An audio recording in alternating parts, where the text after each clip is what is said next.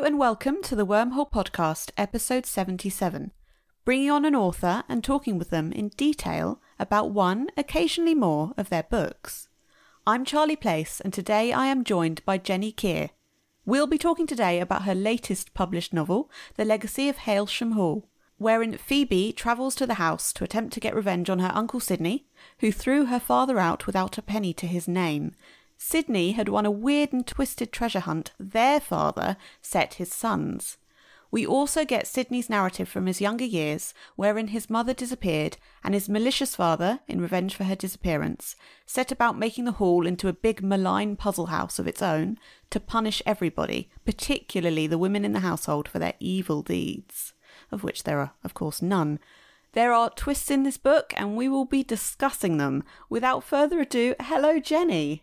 Hello, Charlie. Thank you so much for inviting me on. I've been looking forward to it, and your book was great. I'm going to have to ask, start us off, what was the reason you wanted to tell this particular story? The inspiration for this story was doing some research for big houses and looking at various architectural features because I'd had to learn a lot about architecture from my previous book. That was The Secrets of Hawthorne Place. And I got very involved in architecture, and houses became characters in my books in their own right. And so the setting was as important as the people that lived in it to me. And I was going down the research rabbit holes that you do, and I came across the Winchester Mystery House, as it's known, which is a house in California in America. And one of the weird things about this house is not only is it quite a hodgepodge, it's got turrets and lots of uh, stories to it, bits added on, but also it has numerous staircases, some of which lead nowhere. Now, to an author, this is fantastic. Why would you build a staircase that doesn't lead anywhere? It just doesn't make sense. So, my writer brain was, well, what could be at the top of a staircase? Why would you build a staircase that leads nowhere? And although Halesham Hall is nothing like the Winchester Mystery House. That's where the inspiration came from. So I think the house came first and then all the puzzles. And you can immediately see if you've got a puzzle about where does the staircase lead, it leads to more puzzles. What else could I have in this house that would be mysterious, that would be inexplicable? And then from that came the Bellingham Board Games Company. And from that came the characters. So it wasn't a story, and sometimes it is, sometimes it's a story I want to tell, but in this particular instance, it evolved that way. So it evolved from the house to the puzzles, then who might live in the house, and then telling that story in the dual timeline that I did afterwards. Blimey. I yeah, wow. I, I thought the house might have come a bit later, but I thought maybe the board games first, maybe the characters. So I mean, can you tell us more about the house that you created and also the setting and stuff? So it's set in a fictional town in Suffolk called Halesham. And that came about because I was looking for a place that sounded like it would be in Suffolk, but isn't, because I'm a big fan of inventing the uh, towns and villages that I write about, because for me, that gives me greater artistic license. Hmm. So I don't have to be confined with what is actually in a village or a town. I don't have to have their church, their layout, you know, but I want people to have a sense of place. That's really important. So I'll often set it somewhere I know, like Dorset or in this case, Suffolk, and I will reference real places. So this is somewhere set on the Norfolk Suffolk border. So it does talk about Norwich, it does talk about Ipswich in the story, and people they know these places and they know what the countryside around here might look like, for example. But it was really important to me that Halesham was completely fictional. I wanted, like I say, the house to be quirky and different. I just let my imagination go with this because why not? And also because I'm not a planner, although I am getting better, I think some of those fixtures and fittings within the house came as the story evolved. So a lot of them, I, I'm writing the story, I've got my characters now. And then I suddenly thought of things like, oh, how quirky to have distorted mirrors. You know, I'm looking for things that Clement Bellingham, who is the person that designed the house, would have put in to amuse himself because he's not a very nice character. In fact, he is the only character I think I have ever written in any of my novels that has absolutely no redeeming feature. There's nothing nice about him. And he's abusive to his wife, but he's also a creative genius. There's something not quite right about him. You know, he's he's got a twisted mind, a twisted way of thinking. And whilst this is fantastic when you're creating board games and you're thinking of puzzles and how can you trap people in a game playing environment, it's not very nice in a real life environment. And this man is not a very nice person. And he projects these things onto the house. So we find out that he doesn't particularly like women for various reasons in the story and is very unkind when he redesigns the house to the female members of staff, doing things like making cupboards difficult to open, staircases uneven. He wants to make the lives of the women in this house difficult. And like I say, really the only time I've ever created a character that had not one single redeeming feature about him. Well, that's fascinating. I'm going to have to ask about that. So, I mean, why create a character with no redeeming features. You know, if you're so used to creating characters who do and who are good as well. I can't answer that honestly. He came to me, I didn't create him. He was always kind of there. Whereas some characters, you have to work quite hard at getting them right and giving them characteristics that play into the story. You have to craft the character. And quite often, again, not being a planner, I will create a character and then go have, have to go back and tweak them because I will realize there is an aspect of their character that I have got wrong, or there's an aspect of their character that I want to add. And so I'm quite used to my character evolving with the story. And he was just never like that. He was always there. I can't answer why. He just was always there like that, like a malevolent presence hanging over the hall. Maybe because it's a sort of light gothic novel, maybe that that dark presence was needed. And I didn't want him to have any redeeming features. He's not a nice person. But it is unusual. I I think it gives a well-rounded character if you can see that. You know, there's good and bad in everyone. Let's again not have perfect protagonists. It doesn't work. There is nobody out there who is perfect and lovable and, you know, had no faults. And I think that's really important in antagonistic characters as well. But Clement just was always not very pleasant. And like I say, he came to me fully formed. So that is that was him. He knocked on the door and I let him in. Goodness. Well, I mean, you definitely gave him a, a nasty run for his money, I suppose you could say. But um, you saying about Gothic, I'm going to bring this in now. It occurred to me that Sylvia is kind of like a nice, maybe a not dead, as you find out later whether she is or not, uh, Rebecca character. And then I was surprised actually to find that you had a TikTok video about Rebecca Daphne du Maurier. Was this an influence? Oh, absolutely. And there's been no secret about that. I mean, that, that was a book I loved as a teenager. And it was definitely a massive influence behind writing this book. The story is not the same, I think there's an element of what happened to Sylvia as there is of what happened to Rebecca. But again, my story is completely different because we do find out she isn't dead. And those hints of, is there a ghost? You know, the temperature in that staircase. Sidney feels like the temperature has dropped and, you know, maybe his mother's talking to him. There's there's those whispers of is there a ghostly presence? I also quite deliberately created the folly which plays a huge part in the story, to be quite an eerie place. It was deliberately built very soon after she went missing, because what I'm trying to do is get the reader thinking, could there be a body in the folly? You know, is that why he did it? Was this done in such haste because he wanted to conceal her body? And it becomes like a shrine to her. It's actually the only place in the story where her name is.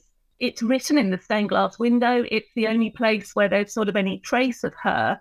And we do find out that Clement goes to the folly and sort of almost talks to her. You know, that's the only place he will allow himself to connect with her because he has just wiped her out of his life for what he considers are her misdeeds, i.e., running away.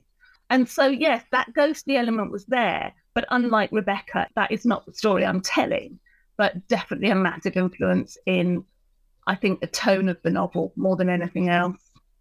Mm-hmm, yeah, sure. It's important that Sylvia remains alive at the end, isn't it? It was, yes. And I almost could write her story. I loved what happened to her. I loved that she went off and had her happy ending. And in my head, I could tell you all the details about that time period when she was absent. I could tell you all about it, but I don't write it in my story. I choose not to write it in my story because that is a whole other story that I could but will not be telling. But it then, because I know that so well, it helps when I'm writing Sidney and Phoebe's story that I do know the truth of what's happened. So I think we were talking about why do we not find out what happened to Phoebe's father, as in who Phoebe's father actually was. And we never find that out in the book. And again, I can tell you what he looks like. I can picture him. I know who he was. I know he was a member of the clergy. I know he was somebody that her father trusted but it's not necessary in the story. If I fed that in, it would be an info dump. It's not needed. It might leave the reader questioning who was Phoebe's father, but you don't actually need to know. It's not relevant to the story. Fair enough, fair enough. I mean, I thought with Phoebe, I will confess to getting a bit confused when there was talk. Ada was talking about Christopher. And then, of course, you have Sylvia later who has gone to Canada with Christopher. So, of course, I started thinking, not knowing about Sylvia, ah, it's Christopher, the father. Um, and then when, of course, it's revealed, you're like, okay, you know, he's not, obviously. But I suppose that's what makes me wonder about her father. But also, at the same time, you are absolutely right. You do not need to know. You know, that's that's not important to the story. No, and I think as a reader, I get a little bit frustrated if everything is tied up too neatly it's a balance, isn't it? Because I do not want my reading material to reflect real life because real life is tragic and it's not all neatly tied up in a bow, but you do need certain things. There's certain expectations of the genre. If it's a romance, you expect it to have a happy for now ending. It's a balance between being realistic and giving your reader what they want. So, yeah, I like to leave a few little things. And I also put a lot of tiny little clues in the book that I am almost certain readers do not notice, but they're almost there for my own satisfaction. So it's things like drip feeding that Douglas was uh, a rumman.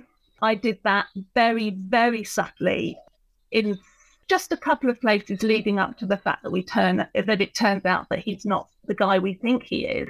So much so that my editor had missed them and said, Well, can we not have some clues that he's a bit, you know, dodgy? And I thought, Well, they're there.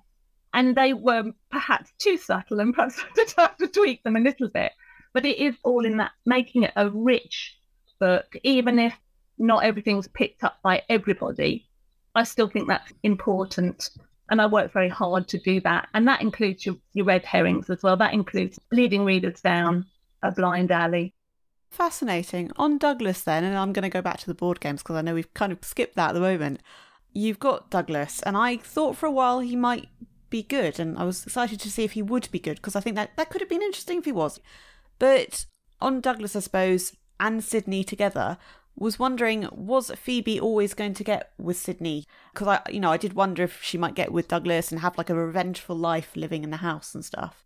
Oh, that would have been lovely too. Yeah perhaps that's another book I need to write with different characters. But uh, yes, I'm not a planner, like I said. But yes, there's certain things I do know when I start out with a book. And I always do know the bare bones of my story.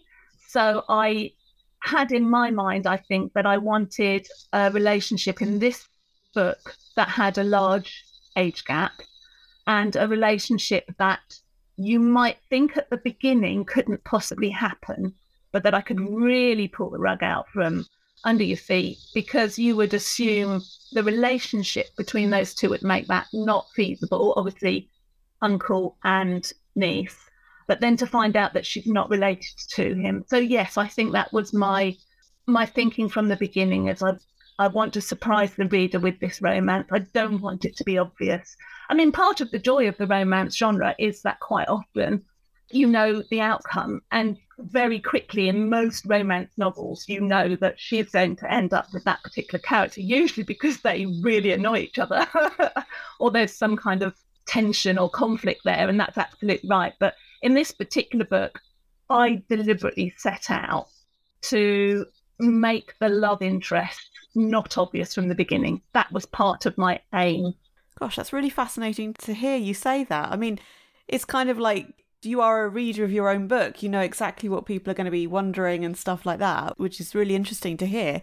So, I mean, I'm going to have to ask why did you want the relationship as it was? Why the age gap, etc.? I think as as it evolved, the age gap was necessary because I couldn't tell those two stories. But the age gap was also, you'll notice, the smallest I could get away with, with them being possibly uncle and niece. There's 16 years between them. And that's one of the reasons there is such a big age gap between Leonard and Sidney. There had to be for me to write that story. It just led to so many other wonderful things that I hadn't thought about when I when I started writing it. In that actually, when you've got such a big age gap between two brothers, they were almost like only children because by the time Sidney was you know, walking and talking, Leonard was a teenager. And you're not going to have that same sort of sibling relationship. And so out of that large age gap came really exciting things in the story. Oh, that's interesting. I mean, okay, I suppose a, a low stakes question, but here we go. Was Sidney or Leonard in your head first? Sidney. Yeah. Always. Always Sidney. And I actually came across a picture when I was doing research from the time period and I thought, that's Sidney. And I won't show anyone that because I don't like it as a reader again. I don't like it when authors tell me what they think their main characters look like. And quite often we get asked, you know, if your book was going to be made into a film, who would you cast as XYZ? And I'm always really disappointed with the answers that the authors give because that's not what I've got in my head. And so I don't share that with people because you'll have a different picture of Sidney to me, and that's fine. If it gets made into a film, then we'll wrestle it out then. But until then, my Sidney, I've carried around with me for probably two or three years now, and he was just a photograph on um like a 1920s website, and I thought, yes, that's Sidney and that really helped me i think to visualize him. It helped me to write him. Oh, interesting. I mean if you have a film i suppose you can get an act a different actor for each scene maybe you know just kind of mix it up a bit. So okay we'll, we'll go back a bit. The board game company you've introduced it a bit. Is it based on other companies at all? Where was this specific inspiration for that i suppose? Okay, so yeah, I looked a lot into Waddingtons and Parker Brothers and the he obviously there being that they were brothers, so that again fed into my book. So yes, I looked a lot. I actually purchased some old fashioned games and I've got a lovely illustrated book of board games from the period, which I was highly amused to find had a game called something like Escape to Mars with what people in the 1920s thought Martians looked like, which was just brilliant. And I had so much fun inventing the games in there because most of those I made up which was just brilliant fun. And it was never going to be the Bellingham Board Game Company. It was just going to be that Clement Bellingham set these puzzles in his house until I was talking to a fellow author about the book and the stages it was in. And she said, Oh, yes, because he could own a board game company. And it was a real kind of duh moment because I thought, well, why didn't I think of that? Of course, that's the obvious path to go down things that other people have said to me have sparked brilliant ideas that have led my books in directions I would not have gone down by myself. And also, I was talking to my agent in a very early draft of the book and saying I was going to have these riddles that would need to be solved. So I was thinking verbal riddles that they would just take them from one place to another. And she said, she, I think she kind of not misunderstood, but she was sort of like swept up in the idea and said, oh, brilliant, because then the house itself is like a puzzle. And I thought, I've got to go back and rewrite. I've got to go back and rewrite that all and make the house the puzzle because what she said is genius and it's much better than what I had before. And I'm quite happy to do that. I'll go back and rewrite. I'm not precious about it. If someone gives me a better idea or steers me in a clearer direction, or even warns me off something, you know, says, Oh, I don't know if that's something you're qualified to write. I'll go back and rewrite. Why not? There's a fair amount to be said for a certain amount of collaboration. Yes, but I, equally, I know authors that can't do that because for them, it has to be just them until it's reached a point where they feel they can share it with their agent or their editor because it would maybe stop their own creative input. It's different for everybody, and that is absolutely fine. Mm-hmm. And yes, I had wondered why board games themselves, and yeah, hearing that you hadn't had that at the start is very interesting because it does seem like such a crucial part of the book now. How much of the bad things that happened to Sidney in his life would you say are a result of his choices compared to things happening to him? If that's a question I can ask. I think it's a bit of both. I mean, the tragedy of Sidney's life is that he was never loved. I, I don't think he, he was loved by his mother, but she disappeared when he was six years old. And can you imagine how that would affect a child? And I think he spent the rest of his life looking for love and acceptance. And there was no one there. His father wasn't capable of that sort of love. He had Mrs. Murray in his life, who was an incredible figure throughout his life and throughout the story, but she was staff and there was very much a divide. And I think this is why he latched on to Jane. And the most interesting element of this whole book to me, and the key to it all, is adolescence. And again, when I was starting to write this story, I thought to myself, well, what do I know quite a lot about? And at the time, I was a mother to four teenage boys. I say at the time because two of them are now in their 20s. But I knew a lot about teenage angst and adolescent issues because I'd lived through it all with my household. And one of the most fascinating aspects of this whole story to me is that a teenager is a teenager, be it in 2023 or 1950 or 1900. You know, teenagers are a thing. It's it's a phase in your life where you cannot control your hormones. When you are sort of 16, which is about the age Sidney is when the story is written, he's actually 15, but he's the size of a man at this point, at 15 years old. And I remember one of my sons, who is now the tallest member of his household, being 15 and being the tallest member of my household. And I thought to myself, this is really interesting thing to write about because this child is the biggest of all of us. And yet mm-hmm. emotionally, he can't cope and deal with that. He can't because he's 15 years old.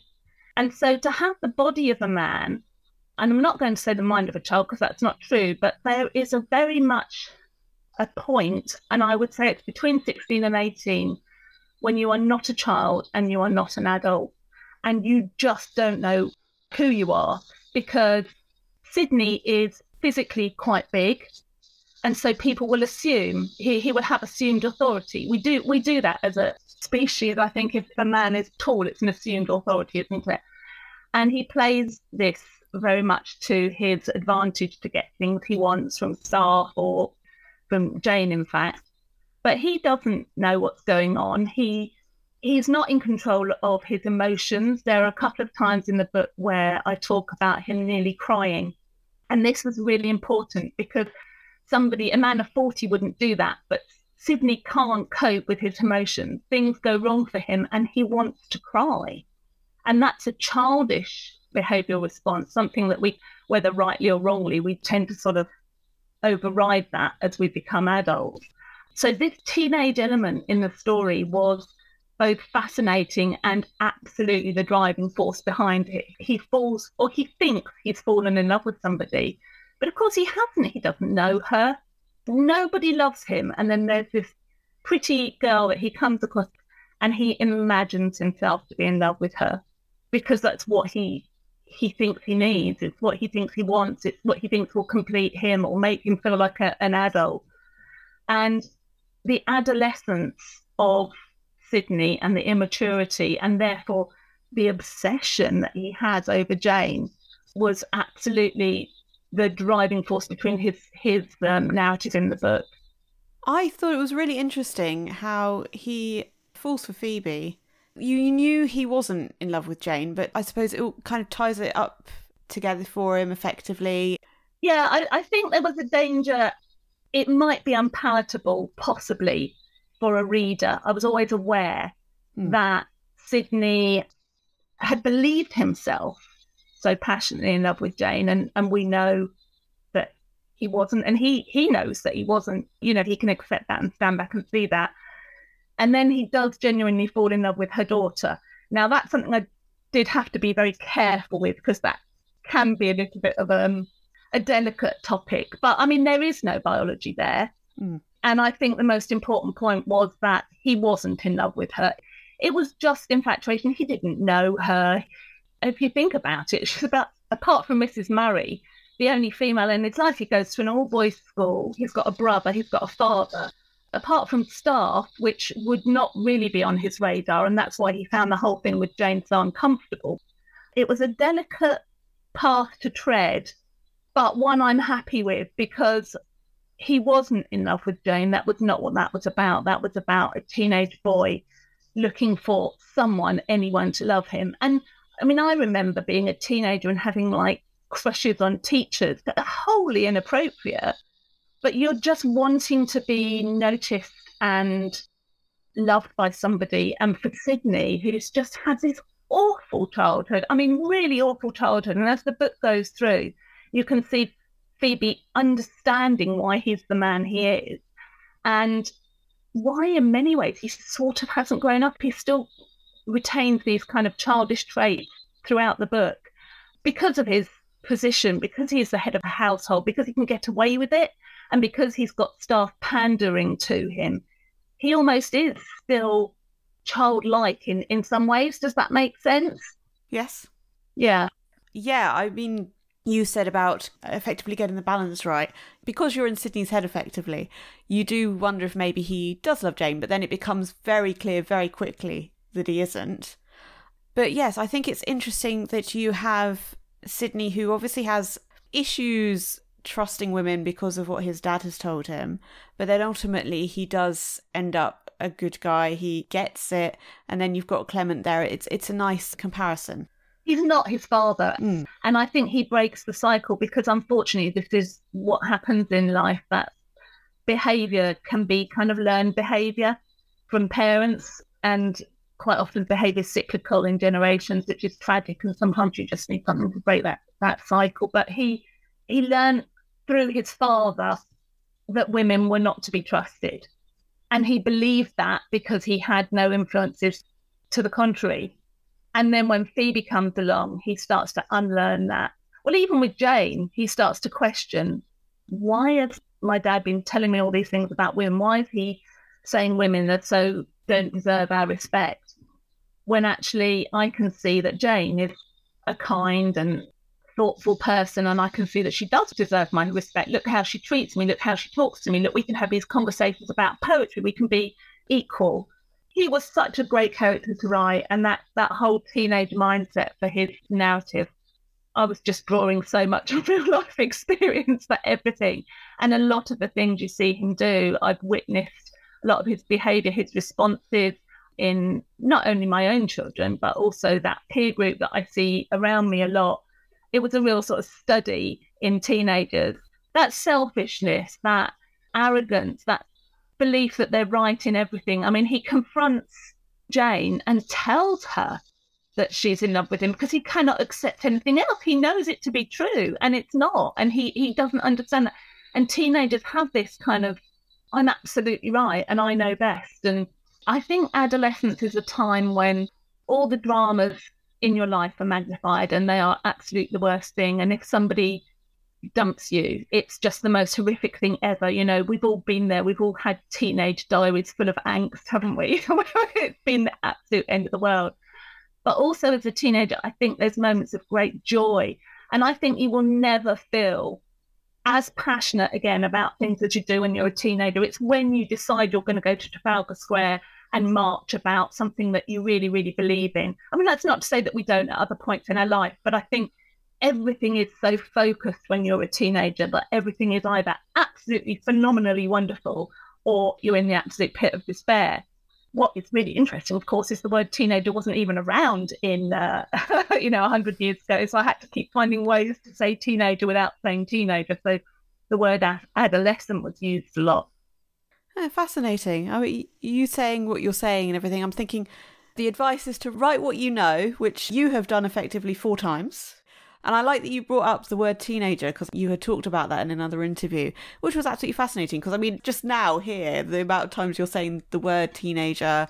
But then, of course, I suppose before that, before the time that your story takes place and hundreds of years before that, childhood wasn't a thing anyway. So it's interesting that we've got the words and when they come into play as such. And it's been very interesting as a writer now of historical fiction. The etymology of words is paramount. I mean, it's part of the reason it takes me so long to write the books because I do try so hard to check the etymology of all the words I use. And it's amazing what I have learned is out of bounds for me. So not only things like teenager, but weekend. The number of times I want to write weekend and I cannot write it. Really wasn't a thing until the end of the 20s. Might even be later than that. But a lot of words that you can't use, and a lot of phrases that as an author absolutely sum up what I want to say and saying about the lack of anachronisms, because that was something I did very much appreciate about in your work. A few weeks ago, you were looking to see if you could find an alternative for OK, I believe it was. Did yeah. you find one? It's all right, I think, is the only thing that you can come up with, but it has been quite a challenge. So I put that on uh, TikTok because I thought that was a bit of fun and I had quite a lot of engagement from that. And you take that out of the vocabulary. And even though I know this is really interesting, Charlie, even though I know I can't use that word, I will get to the end of the manuscript and put it in my find and replace, and you can bet it slipped in there because it's such a part of our everyday speech and we use it without thinking. I think not using contractions is a mistake because I think it's very easy to think everybody spoke in a very formal way, and I don't think that's true. But I think you do need to look at what words you're using and the structure of your sentences was different. It just makes the reader think, yeah, we're in this time period now. Absolutely, it really does make a difference. I think if you have anachronisms in a book, you notice. You really do. Oh, they leap out at you, don't they? Mm. Yeah. On that note, before we move on, I will say that Jenni's TikTok account is great. She's got tons of videos, and the link to her TikTok account will be in the show notes, so go have a look. Was it important to have Halesham Hall, the house, gained by Phoebe in some way? I think that's just the way the story led. It wasn't necessarily what, what I set out to do. Interestingly, when I was first talking about the ideas for this book, I had Phoebe coming to the hall very much as she presents at the beginning. So, very much coming to the hall to find out about the estrangement between her uncle and her father and wanting to build bridges. And quite early on, my agent said, let's give her an edge. She needs more of an edge. Perhaps she isn't coming to build bridges after all. Perhaps she's got an ulterior motive. And I love that we present her as coming to find family and reconnect with family. And then quite quickly in the early chapters, we find out she's not there for that at all. She's there for revenge. And again, as soon as my agent said that to me, it's like, oh, that's so clever. that's so brilliant. And I went away and thought about how I could make her have an edge and have an ulterior motive and develop that side of her character. So she does come to the hall in the beginning to reclaim it. She wants to solve the puzzle. She wants to snatch Halesham Hall away from the man that she believes had been so cruel to her own father. And the book is all the better for it, without a shadow of a doubt. And I'm really thankful that I had that early conversation with my editor who said, let's give her an edge because it's just brilliant. And as you know from reading the book, I love a bit of misdirection. I want I want to present something and say this character is good and kind, but actually then there's a twist. There's a twist with Phoebe. A lot of people get in touch with me or leave reviews with this book saying that that was what they enjoyed the most was that they thought it was going in one direction. They thought they'd got things sussed. They thought they knew what was going to happen and then I twisted it in another direction that they weren't expecting. I really liked how you've got this puzzle that is actually, although it's it's mainly solved, I suppose you could say, you leave the last clue to the end. I love that. I think I, I would leave it, maybe leave it up to you to talk about why you did that because it really just gives the novel an end point that makes a point in itself about what's happened before. I just enjoyed that so much. It, it was the whole thing that, for anybody that hasn't read the book, there's a series of riddles that both Phoebe works through in the 1920s timeline and Sidney works through when he's an adolescent. And you think that they solved it. They go up the stairs, they turn the key in the lock of this door that haunted most of Sidney's childhood. And obviously, Phoebe's only on the scene a relatively short space of time, but she's curious about this. Her father's referred to this door their whole childhood. This door is at the top of the stairs that lead nowhere. They lead to this locked door. And incidentally, I didn't name the title of this book, my publisher did. All the time I was writing this book, it was called The Staircase That Led Nowhere. That was its title for the whole time that I was writing it. So you can see how pivotal the, the staircase was. And I love the idea that they finally solve all of these riddles, turn the key, open the door, and there is absolutely nothing there. That is just like what a great twist. What's behind this door for 30 years? People are wondering. And there's nothing behind the door. It's a brick wall. And, and in fact, it's an exterior wall. So there is literally nothing behind it. There's a lot of things coming together in this book. And I think probably that was the most complicated part of the whole book was I did get to a point where I did have to plan. And the planning was in what order do I tie up these things? It was a real pen and paper job where I had to think to myself, well, I have to solve these five things or however many things it was. And then just to have the joy of suddenly realizing that the puzzle hadn't been solved and that there was more to it and there was actually what appeared to just be a label around the key was actually the final clue. That was such a joy. I smiled to myself and felt quite smug with myself that I had this last ace up my sleeve. I love how you kept giving the answers to all the questions that I know I had as a reader. And I really did like how you ended it with Sylvia. I remember thinking, okay, we've got Sylvia as well. This is going to happen at some point. And that you did let her live effectively and she was she was there. I, I think that was possibly my favorite of them just because, you know, you've been waiting for so long and wondering and hoping. So you said to me in our emails, you haven't lived an exciting life. You're an ordinary mum of four boys, and we've been introduced to them earlier. How has your life affected what and how you write, if I may ask? I think not leading an exciting life in terms of, I couldn't say I've traveled the world and I've had a job that's been extraordinary. No, I've, I've worked on film sets or, or I've been a journalist or there are so many rich careers and lifestyles that can add to your writing if you are lucky enough to have led those. But I think the core of writing is emotions. And I think everybody lives through those because everybody will see somebody that they know and love die. That happens. You know, most of us will fall passionately in love with somebody at some point in our life. We might be bullied at school. We have very close relationships. And so, yeah, I think being a mum, and you don't have to be a mum to write a book about children, but I think being a mum has opened me up to a lot of emotions and enabled me to be empathetic in a lot of situations. Definitely. I really believe that living a life, and it doesn't matter the scale of the life, that's the key.